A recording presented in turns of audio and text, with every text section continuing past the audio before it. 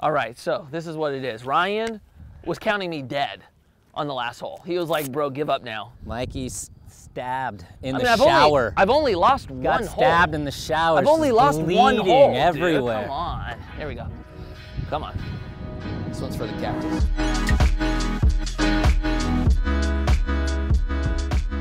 I got 158 You got 158. with wind in the face. Just a second ago, it was 160. All right, here we go. New episode of Pin High. We got Sean Malto. We're at Rustic Canyon in Moorpark. Probably like top 10 courses in California. If you haven't played here, you got to play here. top, here we go. Top 10 in Los Angeles for sure. Fine. I'll you take that. got you can't forget Pebble and Bro, I feel like this is top five in LA. This in LA. Fire. Oh, in LA for sure. All right. Yeah. Um, okay, so the deal today, what, 25 a hole, 25 a hole. five par threes. Is there five here? Yep.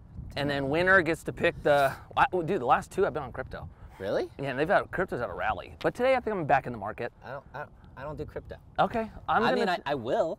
I guess I'll take a free, whatever. But I'm going digital. I'm changing my mind. I want more crypto. I'm gonna just go Bitcoin. I'll take some Bitcoin today. Bitcoin. I'll go Ethereum. Okay, too easy. Oh, Mike and I played this, and I posted it late to my channel. And when we played, Bitcoin was at like 35, and you know it's, it's at like north of 60 right now. Thirty-five thousand Yeah. for one. Yeah, and so he's doubled his investment off me from Pin High. It's been three months, two months. That's what you can do with the power A lot of investing. What do you think? It's 160. Okay, 160. I'm gonna hit a seven iron. I'm gonna hit 175. I think. I'm gonna um. I'm gonna go back to my bag. Here. This segment has been just like an emotional roller coaster for me. I, I felt all the highs, all the lows.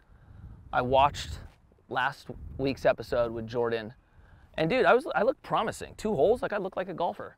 Then it fell apart. Today, if I beat Sean, if I beat Sean on How many of these have you done? this is our fifth How many have you won? one, You're one for five. and I tied one.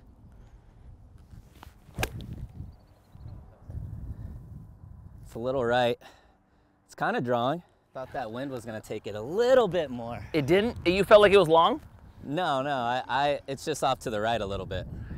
What'd you hit? A seven? I hit a seven. All right. I almost hit a six. Really? But you're longer than I am. No, I think seven's the number, right? I mean, it's the thing's called pin high. You better get it there. All right, good. That looks really good. Let's go. Look at this, man. You stop golfing, you get upset, just create a golf channel. You create a golf channel, now I'm chasing scratch. Let's go, boys. We're in Moorpark in like the valley. It gets windy here. This is actually a hard course because of the wind. So if the audio is scratchy and my voice isn't coming off just dialed, that's that's a God issue, not me. Basically, we hit into 30 mile an hour wind on this hole, so little Bro. flighted Bro. seven irons. I feel good right now. I feel like a golfer. That, that was probably your I got you. I gotta carry this energy all the way out. All the way to 18. All right, Sean.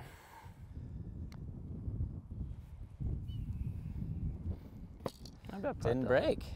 Is that Stay good? kind of straight, huh? Yeah, you're fine with that. Never putt again. Dang it. That's good. All right. So no blood on the first. No blood on the first. I got went away with it. I went for it. What's crazy is I met you when you were a kid. Were you am yet or were you flow when I met you? I was am.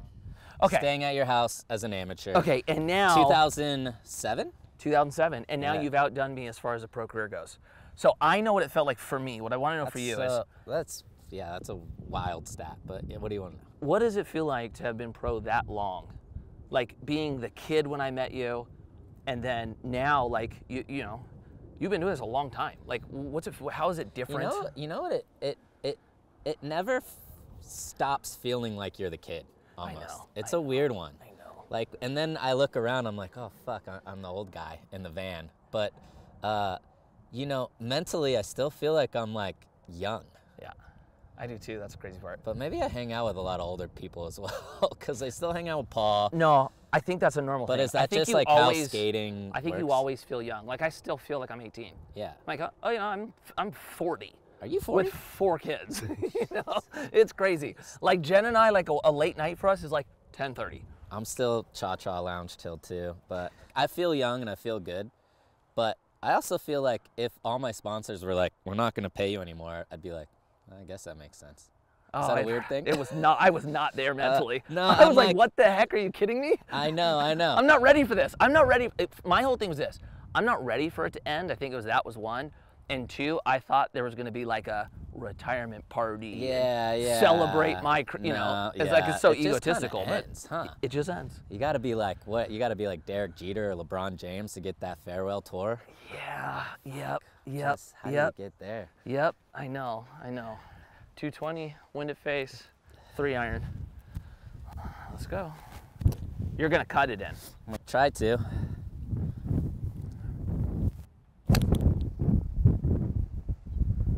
Hit it, wind. Yeah, that's fine. That's not a bad spot. a little. All right. Gosh, that's a lot of wind. Did that trip you out with the wind? I mean, I. Mine's front edge of the green. Jeez, that is scary. All right, let's just do this. Four right, four right, four. All right, damn. So, I got it. You got it? Is it Vice? Yep, in the cactus. Man. Just straight down on it.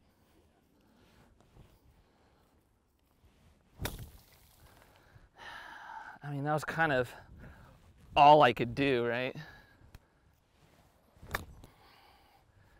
That's pretty good.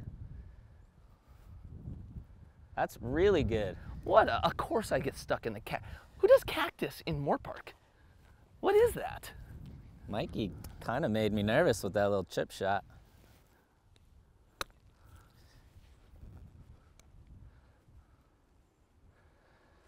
Yeah, I'll take that. It broke a lot more than I thought.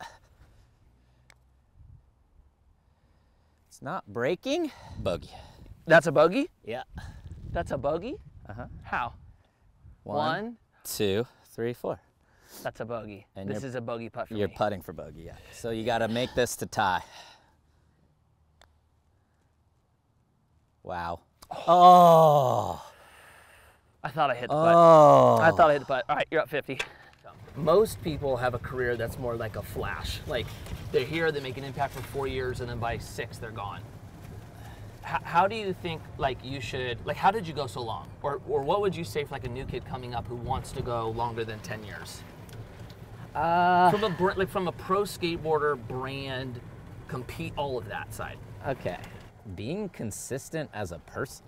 Right. I feel like being cool to everybody, being respectful, Showing up. showing up, just making sure, you know what I mean? Like whole like uh just being a good person. And I know that sounds easy, but people blow that all the time. and Yeah, it's a crazy thing. I think longevity all comes from just like you're cool with everybody, you help people out, and I think that gets reciprocated. Do you think complaining plays a part of What? Remember, I, do you think complaining plays a part of it? Because I used to complain all the time. You know, you knew me when I was young. Yeah, but you I- can. But there's complaining, but uh, and then there's complaining about the right things sometimes. You know what I mean? But like complaining about like, fuck, why are we going skating again today? You're like, well, that, this is what we're here to do. You know what I mean? Right. You would complain about like, Cracks. I hated cracks. Yeah. I hated cracks. Absolutely hated cracks. um, yeah, but you complain about tricks. You didn't complain about people. So what, what do you think about this? Do, were you ever mindful of like maxing out what you could do? Like you, you know, you were had the best, one of the best front crooks and over crooks. Were you like, okay, I'm here now. I'm going to try to do the biggest hand I could possibly do and cap it at 18? Or would you like, okay, I'm going to front crook Hollywood 16, and then three years later, I'm going to front crook, I don't know, pick a 17. And Nah, I always try to do what I could do when I could do it. I feel it. I like Always. that. Yeah. Nice swing. Little to the left. Let's go, Mikey. All right, let's go. Stop the bleeding. Let's, Let's go. Stop the bleed. Mikey's stabbed in I the mean, I've shower. only I've only lost Got one stabbed in the shower. I've only She's lost one bleeding hole, dude. everywhere. Come on. Here we go. Come on. This one's for the cactus. Looks good. Come on. You know I'm not gonna stay down. Come on. You know I'm. What's a Survivor song? That needs to play a Survivor song in the background right now. I'm a survivor. Who's that? Just gotta put a little pressure on you. That's all. Nice shot. How does it break that way? Oh shit. Dang. Oh shit. Dang, what was that? What the? I didn't hit it. Oh my god. Bogey. All right. Down 25? Down 25, down one. What about like planning for afterward? Like you've been really good about saving money, investing money. Like what was your outlook there? My aunt was a business consultant for McDonald's. And so at a young age, she was like, you need to set up retirement programs. Um, she was like, you're not going to make money forever. So she instilled that in me at a young age. So I never lived like outside of my means. I always just tried to save as much as I could. So retirement plans were like something you to- totally was were familiar with when you were young. I maxed my SEP, which simplified employee pension plan, right? yeah, so I, right, I, I maxed my SEP out when I was 16. Dang, I've put I've put Every 50 year. grand in there every year since I was 16. that's so awesome. Yeah. Um, That's so awesome. and it was just, I, I was just like, oh, this is what I should do. One, too, because I didn't need any money. I was 16. All I was doing was skating, Right. eating Burger King. And dude, did you feel like the the pressure to start spending more as you got older, or were you always able to like maintain this threshold of income here and then living off this? D- You know what's funny is I've never really felt the pressure of spending money until actually the the last two or three years.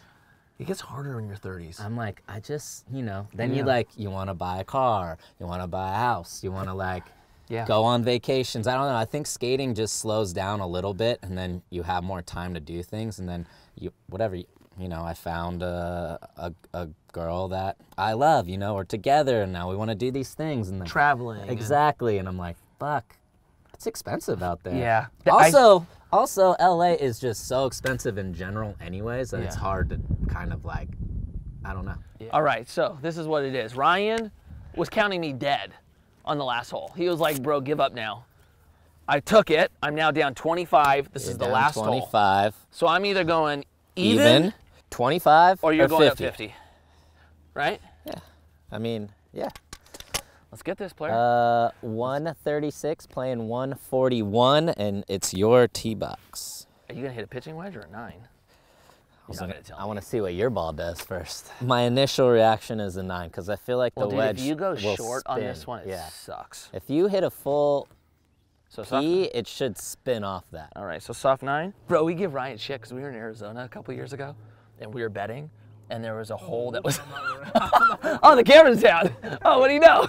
The camera's down. We were in Arizona, right? And we're we were betting, and we were on like a long par three, like a 210. And I'm walking up with my four iron. I look, Ryan's got like a nine iron. I'm like, what are you doing? And he goes, bro, money's on the line. I'm laying up. You laid up. Did you win the hole? he parred it, but On a layup? I've seen You Tim and I- Gavin do that for you and I are games. two club difference, just period, man. oh, Our fours are two club difference. You know what I'm saying? smart. I mean, it's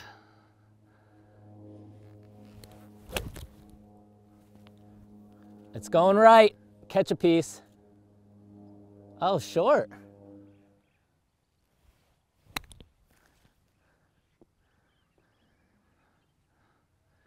That was a great shot.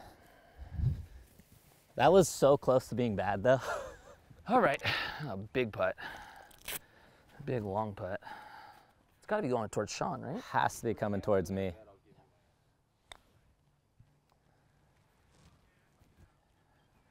Yep, it was up there. Ah, Got to finish that out on the putt out.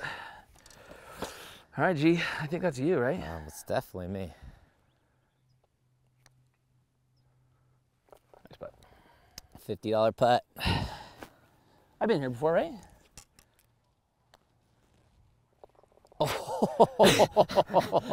Tell me that wasn't close. Tell me that wasn't close. Almost slipped out. You have always been known as like a happy guy. Like everyone loves you, everyone likes hanging out with you.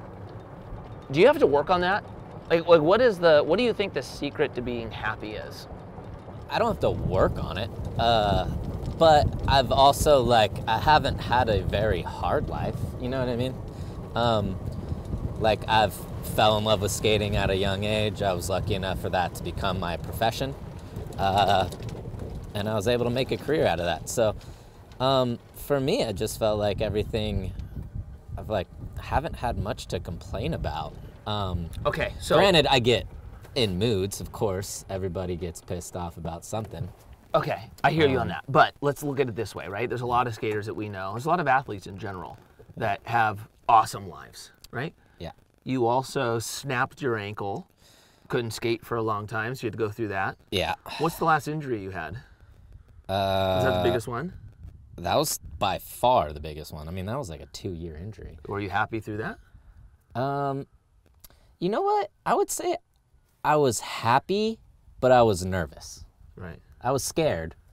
I don't know. Is that the same thing? Is I- wasn't like uh, I wasn't like pissed off. I wasn't like fuck this. I was just like uh, I think I can come back from this. That was my mentality. Right. Um, and I was just trying to get through it that way. I yeah, the, fear is normal. fear is normal. Yeah, and there's more fear as I get older, actually. Right. You know what's funny about skating and, and about mindsets and as I was a kid jumping down shit and didn't really care? I, I'm thinking about family more than ever, which is a crazy feeling. Yeah. I was skating the rail with Nyjah yesterday, and Nyjah was doing anything you wanted to do, jumping down, all- every, all good, whatever. And I was rolling up to switch crooks, which I can switch crook the rail. It's Right. not that hard of a trick. But I was like, damn, if I fall or hit my head or if something happens, like, what does that mean going forward as like I want to like have kids and I want to take care of a family and I want to do these things? And that's been a really awkward feeling. It is. Wait till you have them. I know. When you have kids, like I, well, I was still skating when I had a Scarlett and Amelia, and it was harder to get yourself to jump off stuff. I was like, because why- it's not just me that, No. that suffers now. Yeah. You know, I know that is that is one hard thing about getting older.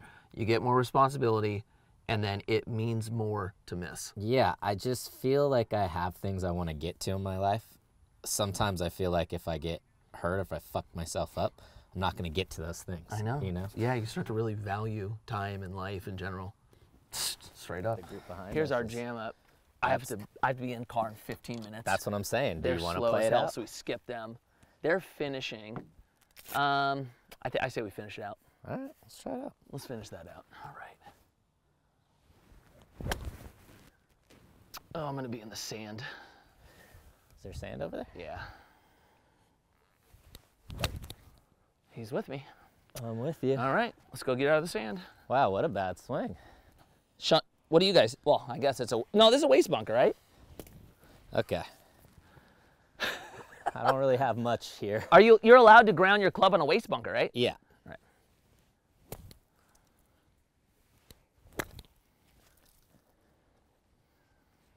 I mean, I can't bad. be mad at that. No, can't. Oh. that was a full decel. That was close though. I kind of lucked out. It could have been a lot worse. All right, Ryan. It's got to be out there, right? And let it funnel into the right. Oh, not high know. enough. You want me to put this? You good on this, Sean? You're good. All right. So I'm in bogey. So you make this, you take it. Oh my god, I left it shit. All right. Now, I started this thing off saying I wanted to win. I lost. I lost 25. 25. But you know Not what? bad. I kind of look like a golfer today. I'm actually taking this as a W. I kept up with my guy. Look, Sean You Malto, if you guys don't know, what are you handicap? A four? I'm a five. A five? Yeah, I kind of held my own. I'm out here losing to P Rod, who's a 30 handicap. You lost the P Rod? Bro, it was not good. It was not good. You lost the P-Rod? So you know what? Giving you 25 bucks of ETH, that's actually a win for me. Wait, 25 K? $25. Ah. $25.